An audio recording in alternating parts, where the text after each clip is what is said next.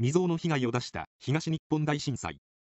復興庁によると、2年以上が過ぎた2013年6月の時点でも、特に被害の大きかった福島、岩手、宮城の3県の避難生活者は約24万人に上るそうです。避難所生活者は0人。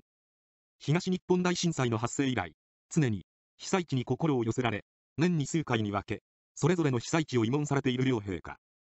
腰を下ろし、時には正座をされて被災者と会話される天皇陛下。